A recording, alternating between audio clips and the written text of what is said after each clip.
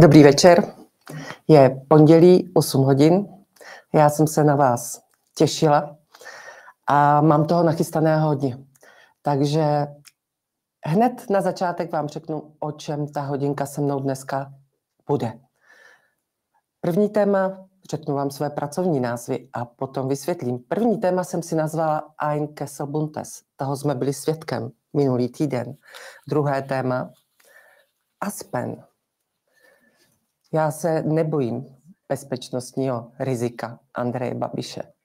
Ani v podstatě Ruska. Já se bojím toho, co stojí zatím. Druhé téma, Aspen. Představíme si člověka, donátora, velkého donátora, který nám do politiky připravuje kvalitní lidi. Uvidíte ho. A to třetí téma, jak jsem vám slíbila v upoutávce, tak to eh, bude samozřejmě o Slovensku, o tom, že eh, naši čelní představitelé usoudili po tom, co vyhrál Robert Fico na Slovensku, že je potřeba Slováky napravit a postarat se o to, jakého by měli mít prezidenta. Ale pojďme na začátek. Možná se vám to bude zdát nesrozumitelné, proč jsem nazvala, eh, nazvala tím zábavným pořadem NDR, co si možná z nás někteří pamatují, eh, tu bizarní schůzi minulý týden. Pojďme se podívat na první obrázek.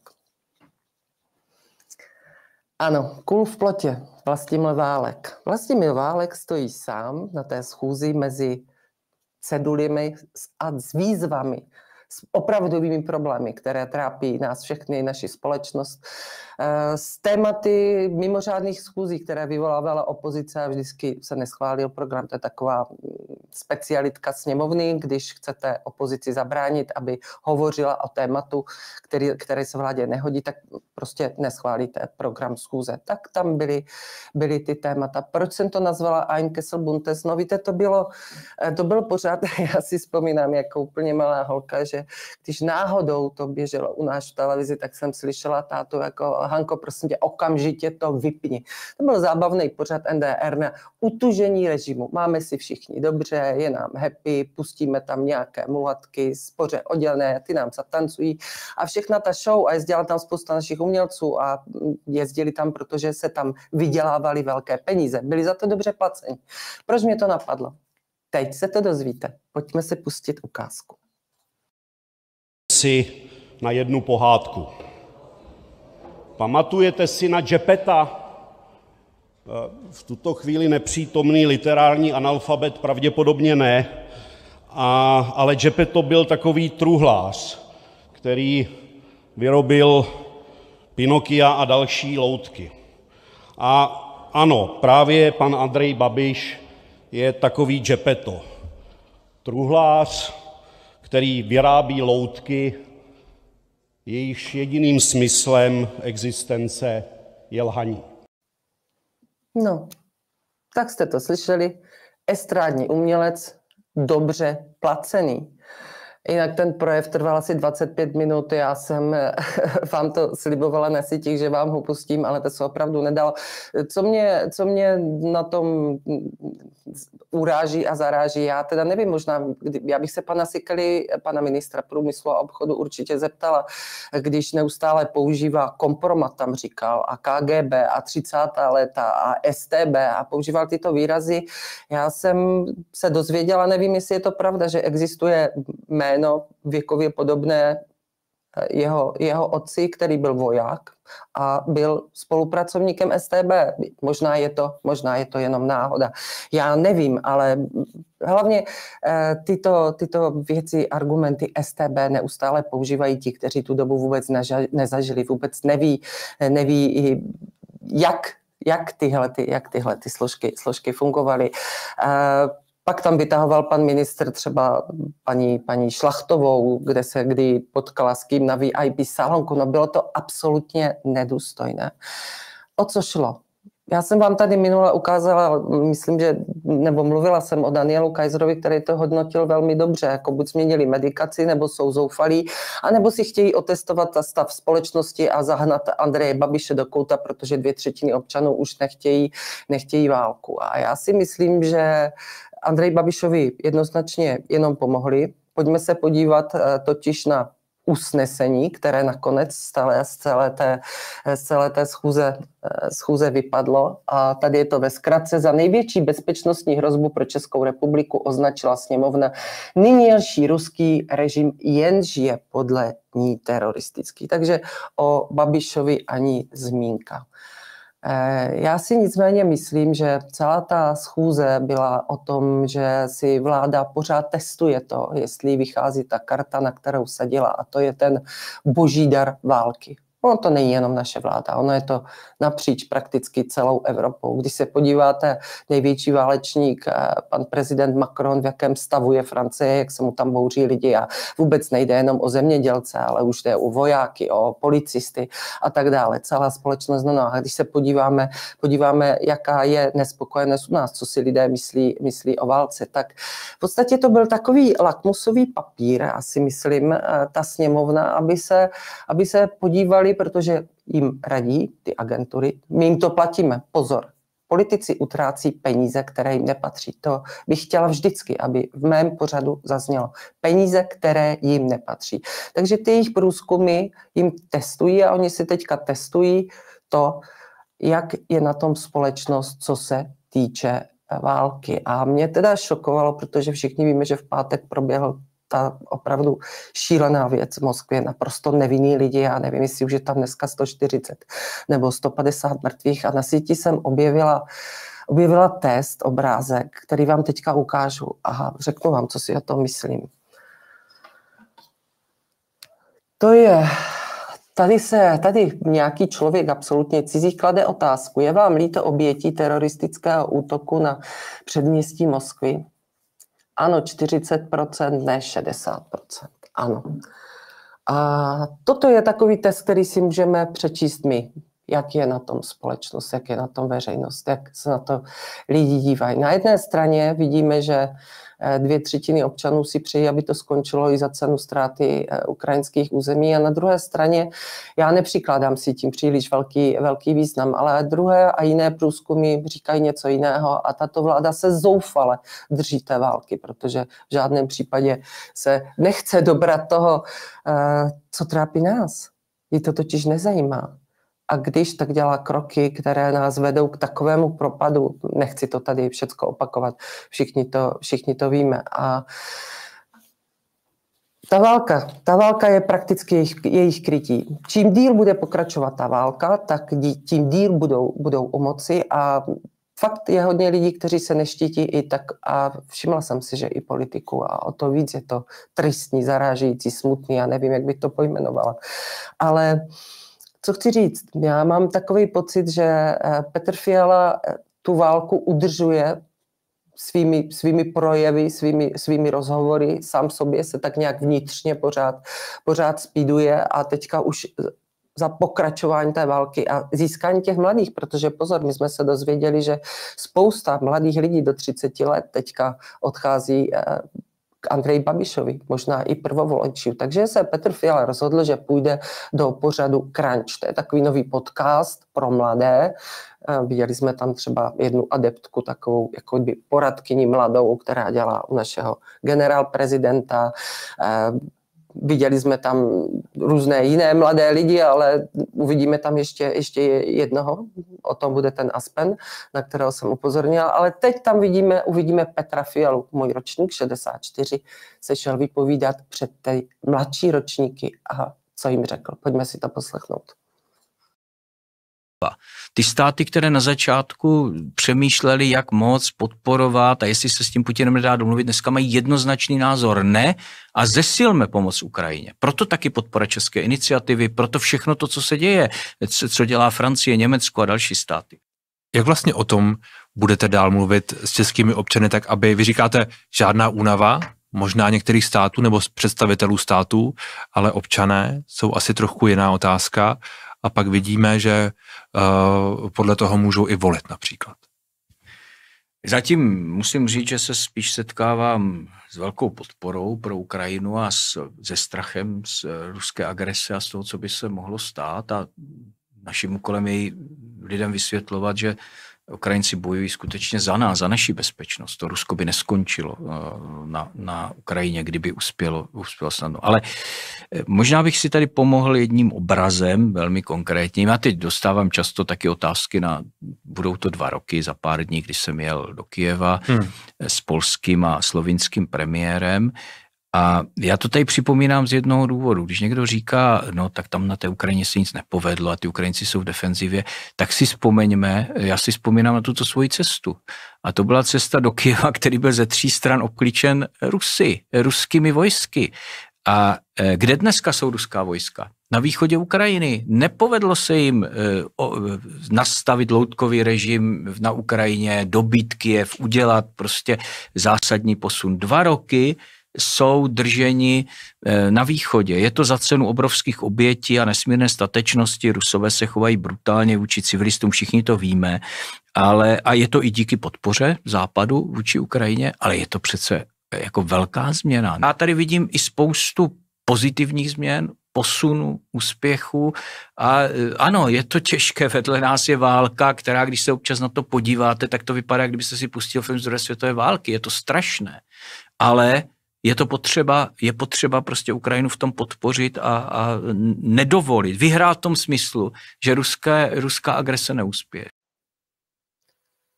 Já si myslím, že Petr Fiala žije v bludu a já bych opravdu chtěla vidět i spousty těch, těch eh, podporovatelů a uh, on si takovým taky nějakým způsobem protiřečí. Na jedné straně eh, přeruší jednání vlády se Slovenskem, odmítá se bavit s Robertem Ficem a eh, co chce Robert Fico, protože Slovensko je přece první na, hráně, na ráně, ty, ty mají eh, hranice s Ukrajinou. Slovensko normálně, normálně s Ukrajinou teďka bude mít v blízké době, eh, době zasedání, ale víte,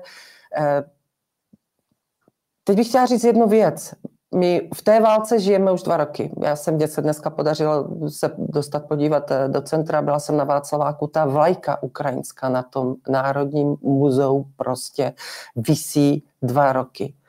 A co nezaznívá v každé naší diskuzi, kdy se bavíme o té válce, kterou žijeme, nežijeme naše problémy, my žijeme válkou cizího státu. Proč říkám cizího státu? My žijeme válkou země, která není členem NATO která není členem Evropské unie, stejně tak jako Rusko. Proč jsme vstupovali do NATO? My, můj ročník, Petr Fiala je můj ročník, jsme si přáli, mě bylo tehdy 25, vstoupit do NATO, aby už nás nikdy neohrozil východ. A tak to je. My teď z toho bloku NATO vstupujeme do cizích konfliktů. Petr Fiala nás ohrožujeme a vedeme, vedeme naprosto šílenou cizí válku. Petr Fiala je loutka a k tomu se ještě dostaneme. Je papeštější než, než, než papež, protože to nedělá nikdo v celé Evropě a ještě nám šíleným způsobem poškozuje naše vztahy s našimi sousedy. Samozřejmě se Slovenskem to teďka prožíváme a samozřejmě také, eh, také s Maďarskem. Já jsem vám chtěla říct teďka, že to, že Petr Fiala poškozuje ty, eh, ty vztahy, tak eh, to si všímáme my, ale ono to, má, ono to má dopady. Já jsem se musela podívat, protože eh, jsem, bych nechtěla zapomenout na obrázek, který je hrozně důležitý před tím videem, které vám chci pustit. Pojďme se podívat na tweet Jana Zahradila, mého bývalého kolegy, který se vždycky orientoval na zahraniční politiku a on říká, budoucí vztahová vlivová mapa v našem sousedství se rysuje takto. Je obnovený Výmarský trouhelník Varšava, Berlín, Paříž, je obnovený Rakousko-Uherský trouhelník Víden, Bratislava, Budapešť a Česká republika nebude patřit ani do jednoho.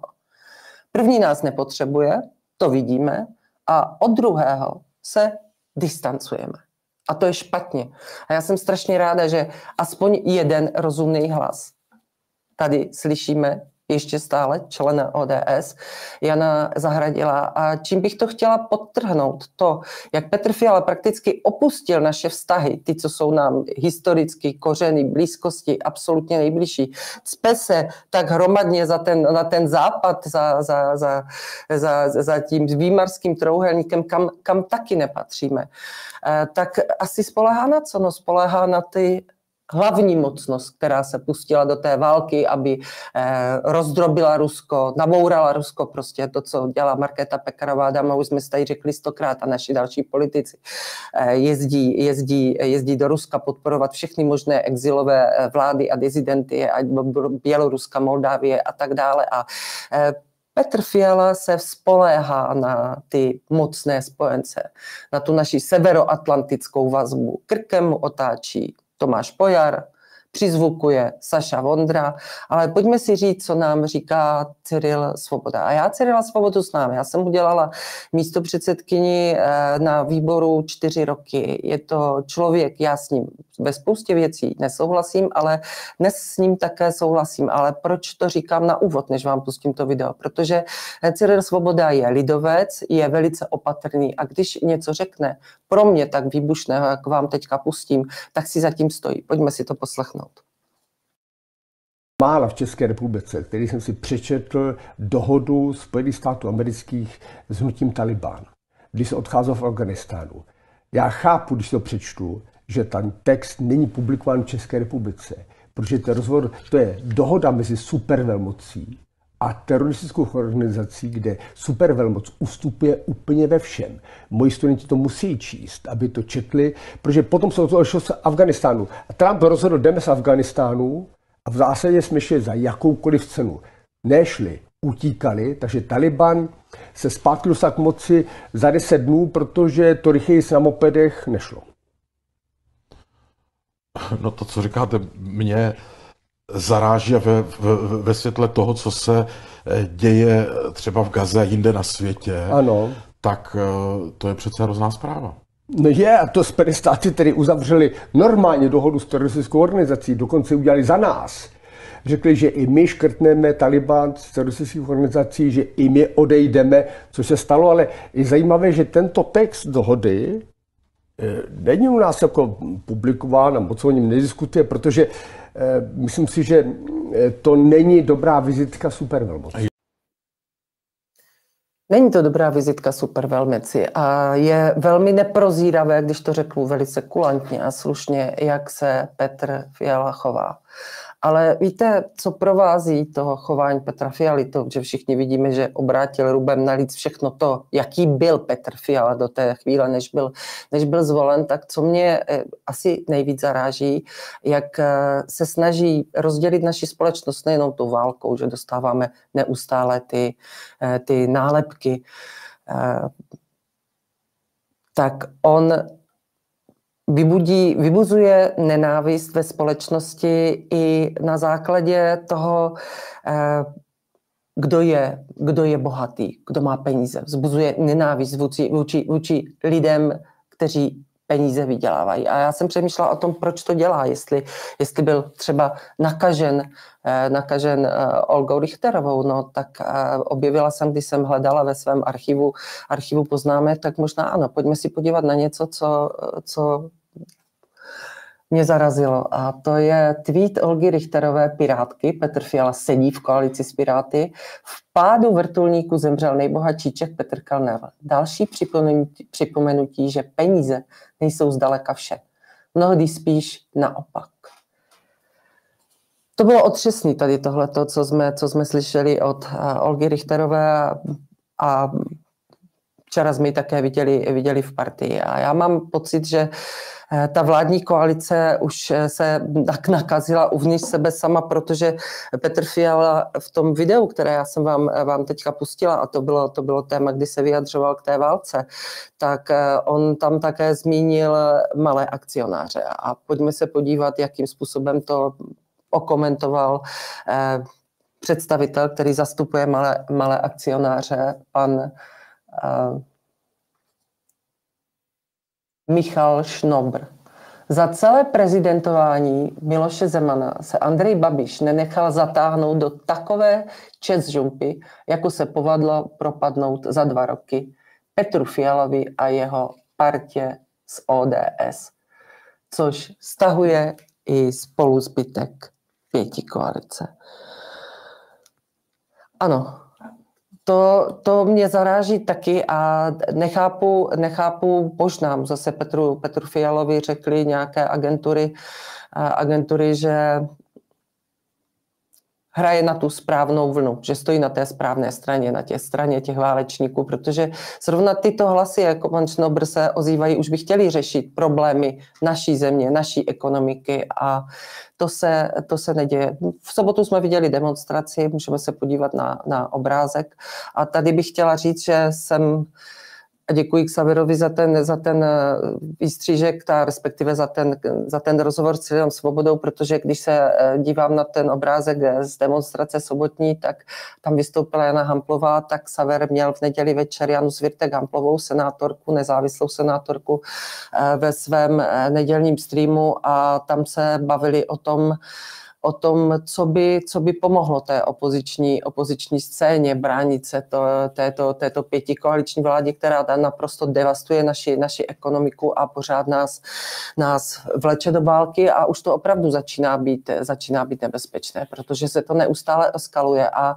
Jana Hamplová tam říká, že musíme se, musíme se spojit. A já všechno to, co když tak se na ten stream podívejte, potrhují. Musíme se spojit všichni, tak jako to udělala, udělala pěti koalice, která se navzájem infikuje velice toxickými nápady a nápady a názory. A e, chtěla bych říct, že ty demonstrace, to nebyla jenom tady tahleta, které už známe, tato byla Reichlova demonstrace, ale teďka jsme svědky to, co se děje v celé Evropě a konečně se ozývají také zemědělci. A já jsem, já jsem a Petr Fiala, když se bavím o tom rozdělování té společnosti na základě toho, ty se dobře máš, jako ty jsi bohatý, bacha, pozor, dáme si na tebe pozor, tak našim zemědělcům oznámil, no to jsou ti, co mají ty nové stroje, oni jenom protestují, protože chtějí další a další peníze od těch chudáků občanů.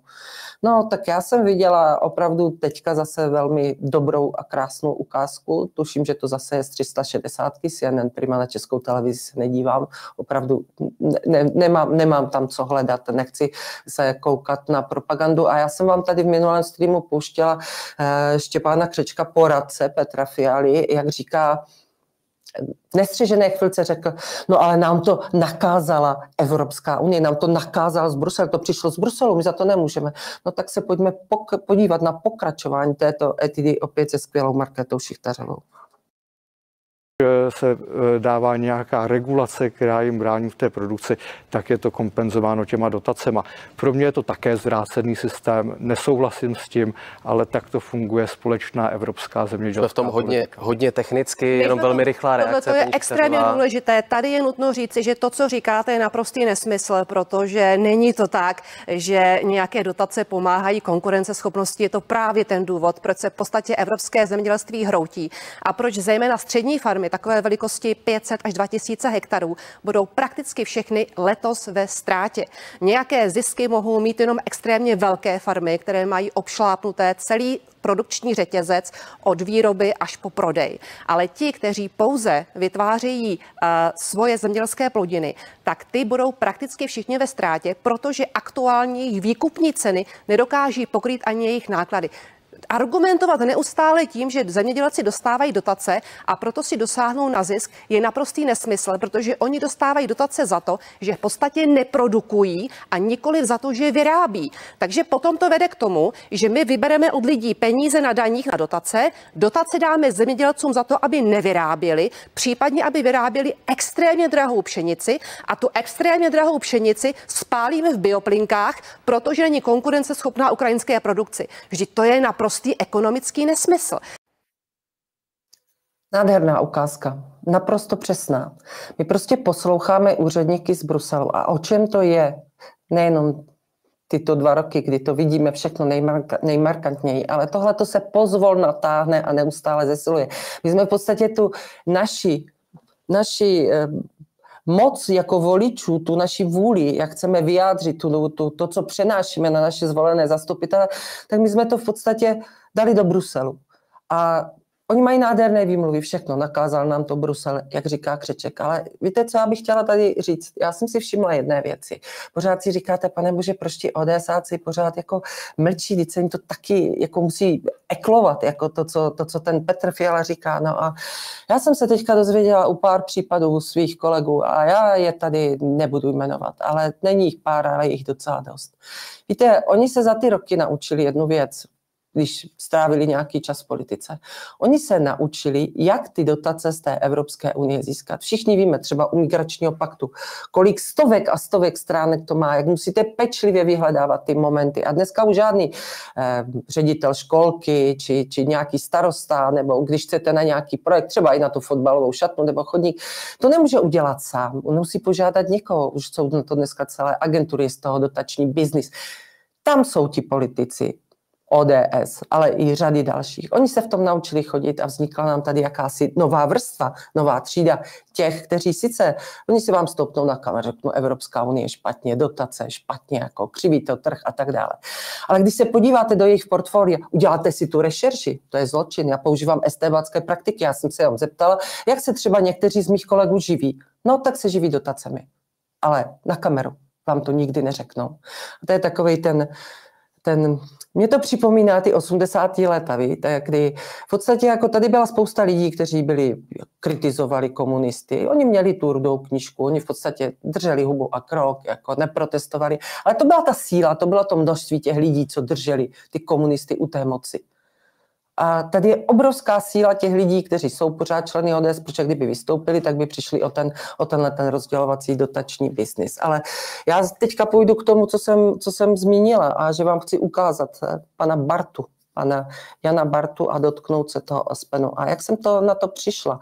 Nejenom, že jsem viděla ten opět crunch, zase pro ty mladé, ale eh, mně se stala taková aktuální věc. Chtěla jsem, eh, chtěla jsem přátelům z motoristů se zeptat, jakým způsobem přijedou k nám do Olomouce.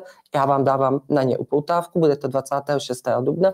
Tak jsem se snažila zjistit, eh, jak zařídit zábor bude před evropskými volbami, bude také setkání, setkání s lidmi a začala jsem to v Olomouci zjišťovat a zjistila jsem, že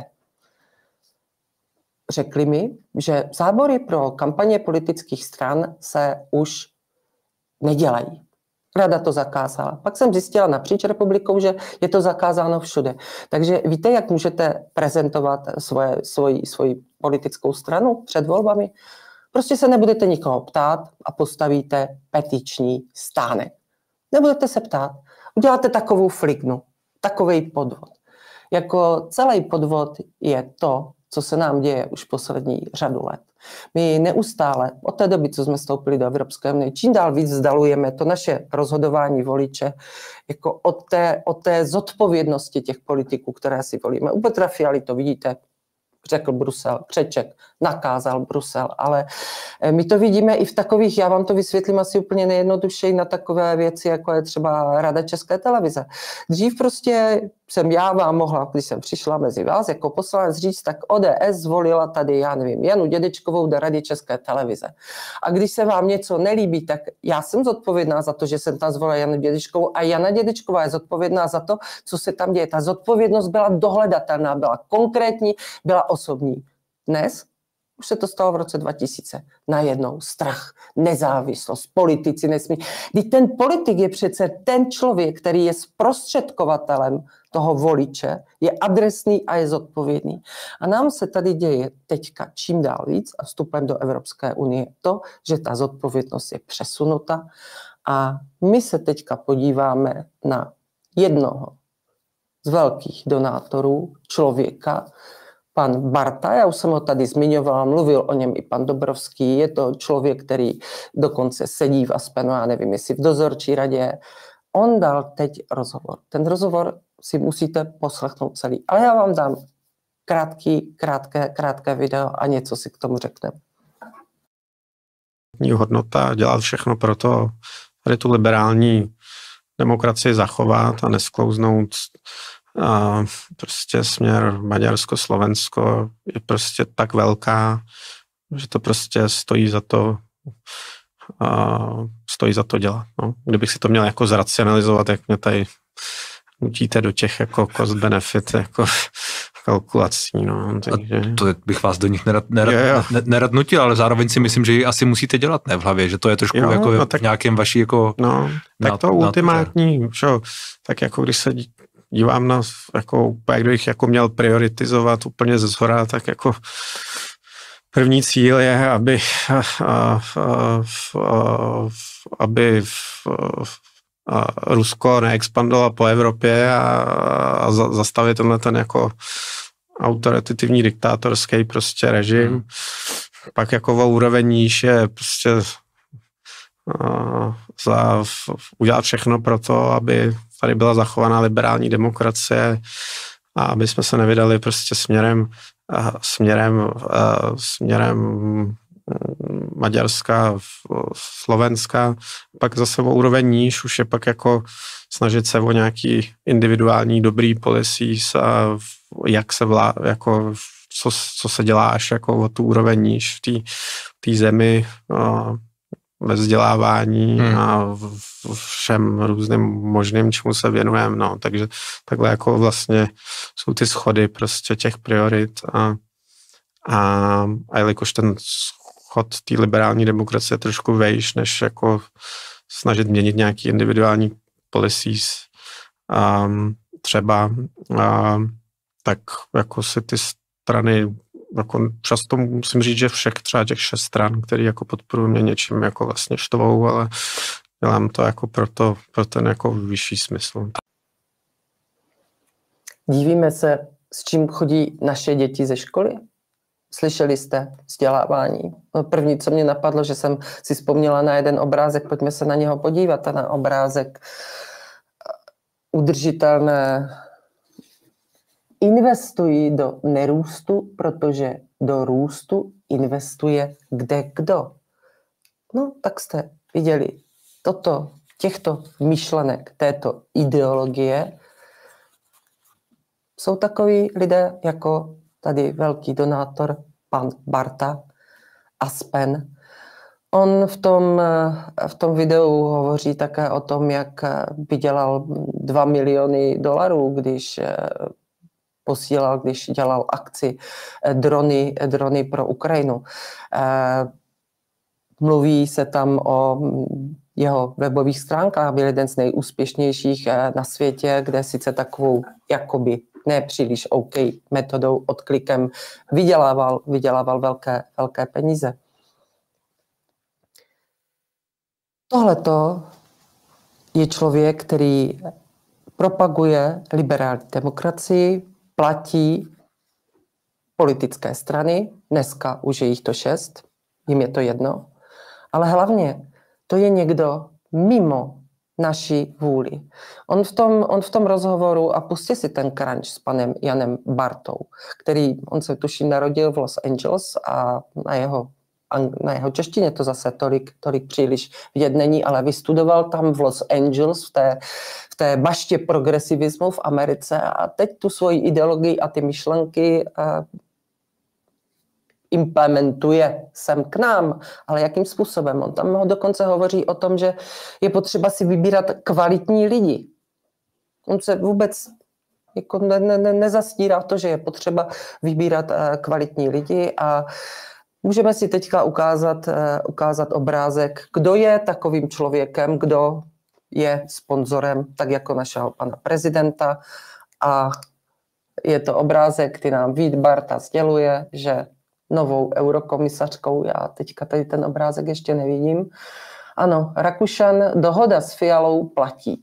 Pro stan chci eurokomisaře ideálně Nerudovou. Ano, toto jsou ti lidé. Pan Marta tam říká o tom, že on jim říká, jako nebojte se, běžte do té politiky, ona není tak špinavá. Takže nám, nám implementuje takové, to jsou implantáty tady tohleto, lidí, kteří nikdy s politikou nemějí nic společného. Nikdy si neodšlapali ten chodník, nikdy neslyšeli ty problémy těch lidí, lidí dole, co je trápí. Ne, nastoupí Danuše Nerudová a v každém jejím vystoupení mladí lidé mají nárok, mladí lidé potřebují, eh, mladí lidé můžou rychle jít do exekutivních funkcí. Já mám pocit, že se tak jako naučí tu, tu příručku toho Aspenu, stejně tak jako Markéta Pekarová, Adamová, Vít Rakušany. Jako. To prostě to jsou lidi, kteří se jaksi vůbec neštítí, neštítí ničeho. A toto, toto eh, je tím, co jsme připustili, tím, jak jsme si nechali utíct, jako už jsme si nechali od těch politiků pořád říkat, že ta politika je špinavá, přece je to na nás, je to na nás, aby jsme je kontrolovali. My jsme je přestali kontrolovat z přemíry blahobytu, zelenosti, eh, z toho, že naše děti začaly nosit rozum v dlani. To školství, to je úplná tragédie. To, co teďka zavádí ten Petr Fiala, který ten slušný rektor, vzdělanec, historik, zavádí do školy to, že si, že si všechny informace dohledáte někde, že nemusíte se nic učit, nic memorovat. Mě fascinuje a já vás upozorňuji, AB je natočila, Jana Bobošiková natočila skvělý rozhovor s panem Josefem Banášem, významným eh, diplomatem a hlavně spisovatelem, který, eh, který eh, o, tom, o tom všem mluví. Mluví o té situaci na Slovensku a mluví také o tom, co já ještě doplním k tomu Petru Fialovi. On tam říká velice správnou poznámku a to, jestli tu válku jestli podporujeme režim nebo Ukrajince. Protože i já, i vy musíte slyšet příběhy těch lidí, kteří si zoufale přejí, aby ta válka skončila. Ale my, to, my tam podporujeme režim Zelenského. Režim, který nevznikl ze svobodné vůle jenom tak voličů, ale režim, který vznikl Majdanem, pučem. A to bychom si měli, měli uvědomit. A Pojďme se ještě podívat na další obrázky, které, které jsem si k tomu připravila. Kdo teďka, tady máme třeba, já nevím, obrázek, kdo se stal kancléřem kancléřem na, na Pražském hradě. To je tuším také přítel za institutem nového kancléře Vašiny stojí Pavlovi sponzoři. No kdo jsou Pavlovi sponzoři? Jako tak jedním z Pavlových sponzorů, a to jsme slyšeli tady v jednom streamu s panem Dobrovským, že se tam pohádali, ale prostě sponzoři, jak pan Dobrovský, tak pan Barta, eh, byli pana, pana prezidenta Pavla, tak teďka už tam máme dalšího člověka. To, to nejsou lidi, kteří by prošli nějakou politickou kariéru, no tak on by to taky asi nějaký voják Lampas Pasák, toho kanceláře Pávkovi. Vidíte tady tu zvrácenost? Vidíte, jak to jsou lidi, kteří jsou, jsou umělí loutky dosazení? Přece si vezmete jako kanceláře svého nejbližšího spolupracovníka, tak jako třeba, já nevím, pan prezident Klaus měl pana eh, doktora Weigla, který s ním prošel celou politickou kariéru. Přece musíte mít vedle sebe někoho,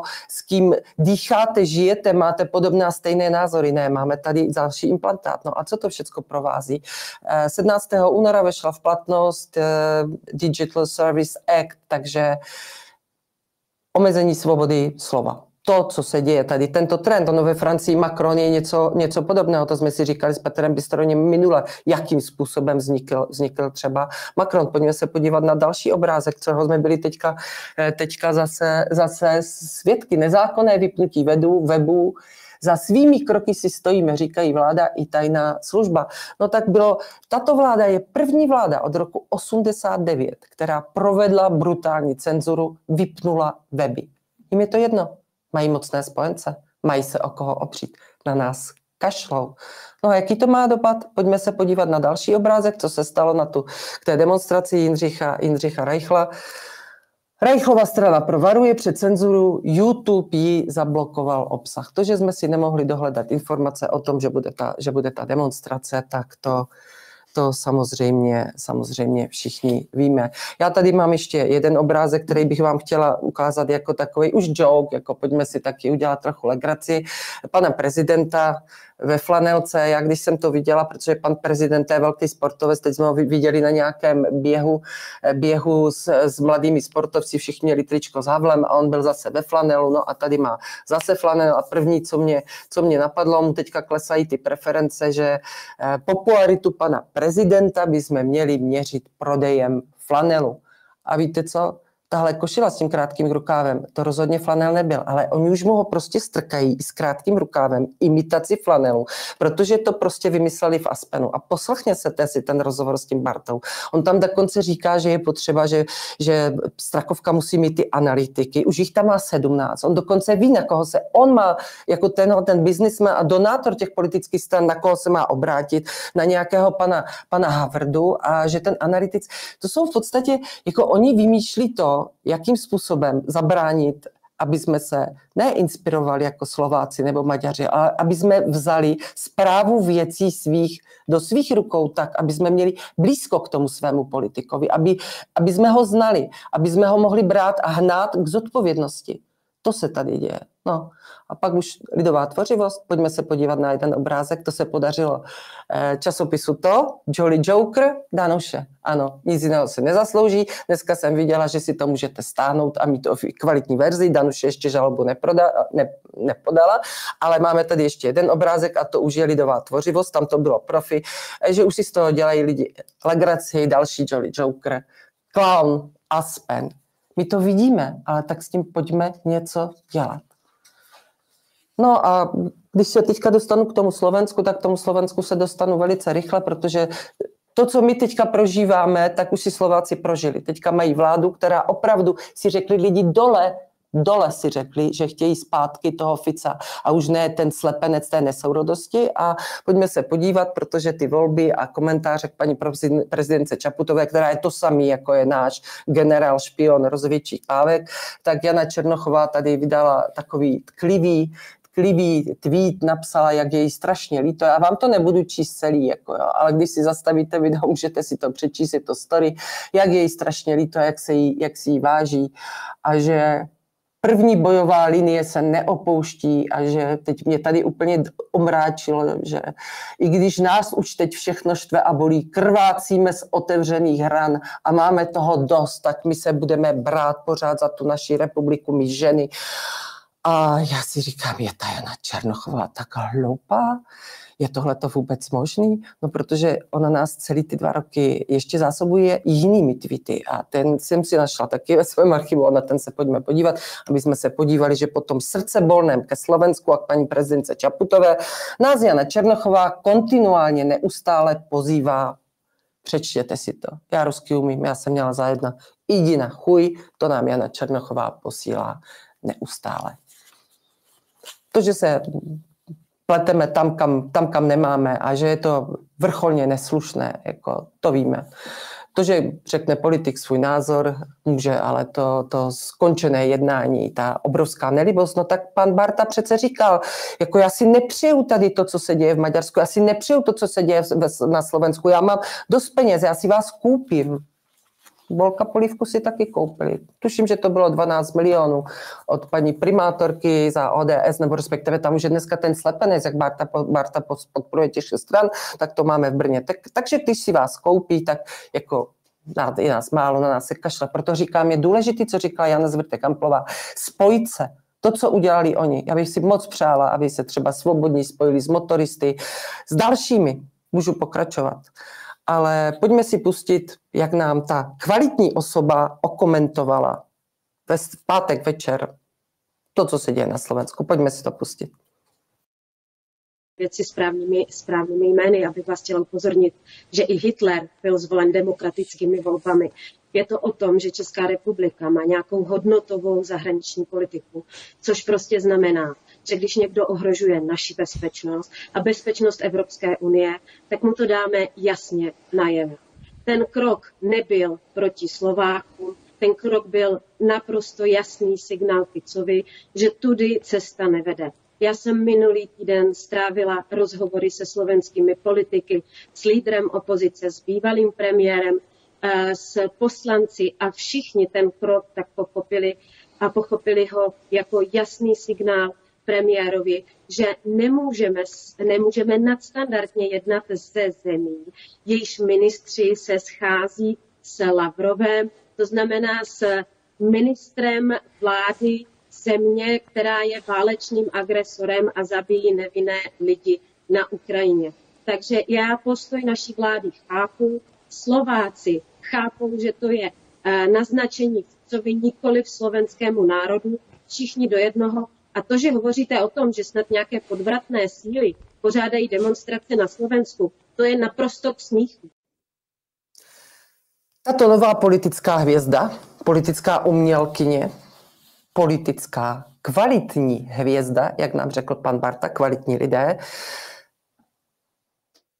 jde proti Slovákům. Ona nerespektuje to, že si Slováci demokraticky a svobodně volili Fica. Dovolil by si to politik? Politik, který by se opravdu vypracoval od PT od místního združení něco tak arrogantního vůči svým voličům nedovolil, protože má tu zkušenost. Tohle to si může dovolit jenom Jolly Joker Danuše. Nebudu pokračovat dál, ale pojďme si poslechnout video, který já, za kterým já velice stojím. Pojďme si to poslechnout. Vy mě neposloucháte asi. Poslouchám. Já vám říkám, přerušit válku je třeba za při uznání statu quo taky, jaký tam existuje. To jako myslíte, že by se teď přerušila s tím, že se všichni vrátí na, na hranice, jak to bylo před dvěma nebo lety, to snad to je dětinský názor, ten snad myslící člověk nemůže vysvětlit. Přerušit válku znamená přerušit ve stavu, jak to dneska je. Přerušená válka byla v Koreji a v severní a jižní Koreji zůstalo to tam 70 let bez změny. Přerušená válka byla na Kypru a severní Kypr a jižní Kypr zůstaly do dneška a nevyřešilo se to. Neboli přerušit se to musí, ale jestli někdo chce radši vraždit, jak některé naše, zejména političky, se tváří, no tak já jsem very sorry, s tím já nemohu souhlasit. Máte pocit, že se tváří, že chtějí vraždit?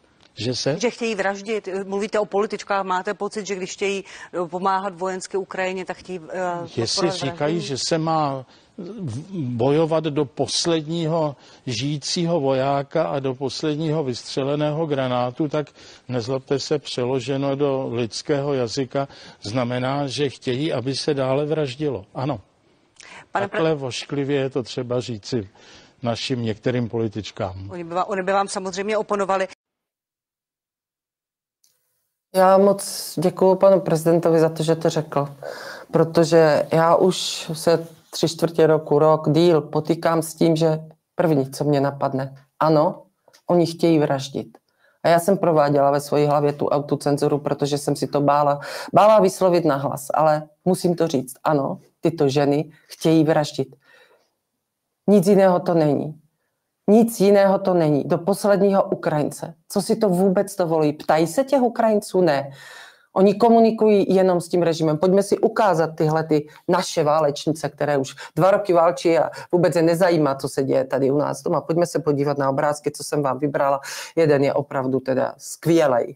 Láska, ano tak to je volební kampaň, volební kampaň Láska Jana Černochová, Markéta Pekarová, Adamová, další obrázek, kdy nám naše odbornice na jaderné zbraně, zbraně prohlásila, že použití taktické jaderné zbraně na Ukrajině by občany čero neohrazilo. No báječný, asi radí Danuše Drábová, která nám každý den stokrát tweetne eh, na síti X, že jaderná situace je v pořádku, ale opravdu báječný, to už se rozšířili jsme se ty válečné vraždící choutky našich žen, političek, i do pásma Gazy, do Izraele. Pojďme se podívat na další, která mě za mé nesouhlasné názory s touto vládou nazvala prokremelskou paní europoslankyně Veronika Vrecionová, která se jako dvojka na kandidáce spolu rodinná dvojka, Saša Vondra, Veronika Vrecionová bude ucházet zase o vaši důvěru.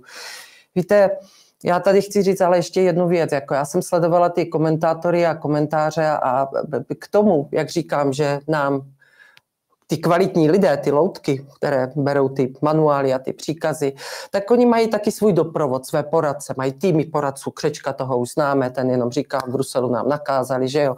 A teďka máme takové ty PR-ové poradci. Třeba já jsem viděla o tu klampíře, tak u ty klampíře víme všichni, že je to spolupracovník STB. Tady je ticho. On jde dávat svoje rozumy do televize, spolupracovník STB. My na toho spolupracovníka děláme mimořádné schůze parlamentu a tady nám to jaksi nevadí. Kdy začal o tak Klempíř, mimochodem já mám ráda JAR a hudebně je určitě OK, ale co tam dělá? Proč komentuje on politiku. Nebo Jakub Horák, ten byl v neděli po partii, který nám zase říká jako, no přece nemůže mít Fico všechno. No a teď úplně stejně falešná argumentace, nebo tato argumentace tady běžela u našich prezidentských voleb a teď dvojí metr samozřejmě, toho jsme, tohle jsme viděli. Já jsem teďka četla zajímavý člen z Kanady, kde už toho trudu a taky mají všichni dost. A četla jsem tam jednu takovou radu pro pravicové politiky. Přestaňte se obklopovat těmi poradci, jako podívejte se u Trudo, poradci, ag- agenty, reklamními, kteří za vás chodí do té televize. Kdyby byli dobří, tak by vás mohli nahradit, tak by mohli být těmi politiky kdy vznikly tyhle ty lidi, co najednou vidíme, viděli jsme je před dvěma lety, viděli jsme je předtím, než nám začala vládnout liberální demokracie, kterou tady eh, chce nainstalovat s celou tou ideologií růstu a nerůstu pan Barta? Neviděli. Ale co mě asi nejvíc jako šokuje, protože my jsme, Češi jsou eh, solidární a milí lidi, kteří, kteří pomáhají a kteří jsou slušní a umí popřát. To, že naše vláda přerušila to jednání, já považuji za strašnou hloupost a neslušnost. To, že nepopřáli premiéru Ficovi ke zvolení, je vrchol neslušnosti. Ale pojďme se podívat, jak to teď probíhá na Slovensku. Já jsem poslouchala Cyrila Svobodu, politika. Poslouchejme politiky. Já si raději poslechnu Luboše Zaorálka, Cyrila Svobodu a další a udělám si názor, ale rozhodně si ho nebudu dělat z Oty Klempíře nebo z Jakuba Horáka, kteří tam jdou jako zaplacení PR. Teď je možná platil pan Barta, ne my. Eh, dělat, dělat plusové body těm, těm stranám, ale Cyril Svoboda tam řekl, že pan eh, Korčok nepopřál panu Pellegrinimu, že se dostal do druhého kola. Pan Pellegrini to udělal. A to je něco, co provází liberální demokracii, co provází tu ideologii, která nás zasáhla takovou silou. Žijeme v tom dva roky a eh, mě pro mě bylo otřesný, když jsem se podívala, jsem zjistila, že Petr Fiala ani Markéta Pekarová Adamová, oni jsou taková společná dvojka, dneska už nepoznáte, kdo je z TOBA, kdo je z EODS, neposlali eh, upřímnou soustrast eh, do Ruska tomu, k tomu, co se stalo v pátek, v pátek v noci v té Moskvě. Úplně nevinní lidi, lidi, kteří nemají nic společného, společného s válkou, tak Pojďme se podívat na jejich reakce na sítích X a já vám k tomu chci něco říct, protože když se na to podíváte, tady vidíte, tady vidíte, mm, teďka nevím, jestli tohle to je od Markety, jedno bylo od Markety Pekarové Adamové a jedno od Petra Fialy a mě tam zaujalo, že oba dva to poslali 10.52. Takže oni, oni přímo Oba dva ve stejný čas poslali tohleto prohlášení ministerstva zahraničních, zahraničních věcí. Co na to, jak bych to ukončila směrem, směrem k tomu, když říkám, že tyto lidi někdo, někdo řídí, tak na to můžu říct jediné. Jak se zachoval Vít Rakušan? Má lepší agenturu. Je dražší. Stojí nás víc peněz.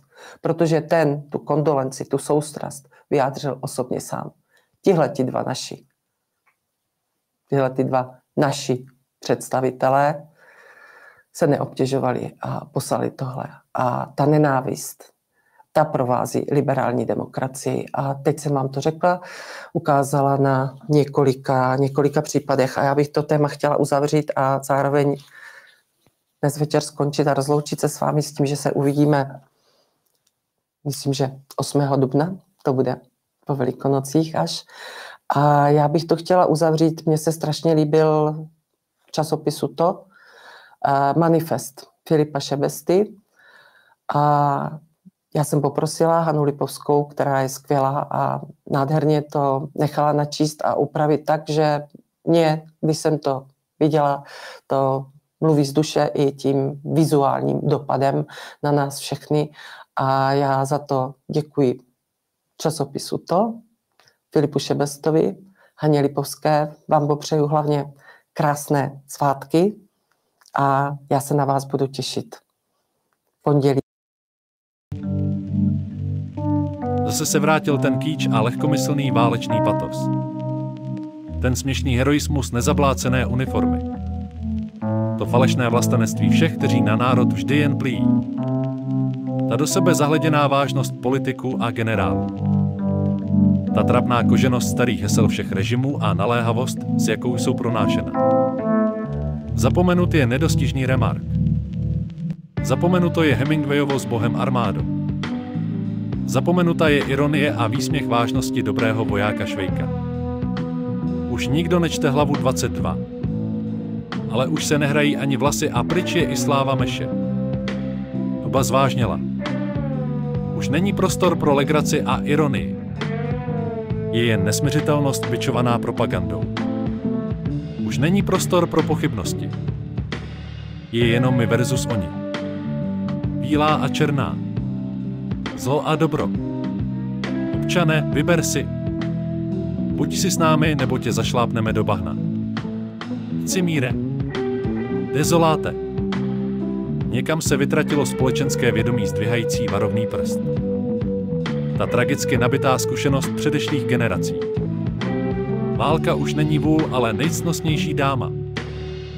Mládež jako dřív nevolá po míru, ale po spravedlivém vítězství za jakoukoliv cenu. Se vrhá a šlape po ampulích doktora Galéna a národy mašírující poslušně vstříc porážce sami sobě do kroku nadšeně zpívají. Dovolávajíce se nejvyšších citů a spravedlnosti hnány jsou opět oba konce Evropy ve vražedné spirále proti sobě. Snaha vnutit občanům představu o nevinutelnosti cesty do konfrontace se ale jen snaží odvést pozornost od vlastních selhání a neřešených problémů. Na sílu skupinové nesnášenlivosti umlčet hlasy volající dost. Spoléhají se politici, jejichž jediným programem zůstala nesvornost a společenský konflikt. A ty dej, občane. A drony. Na dárek pro Putina.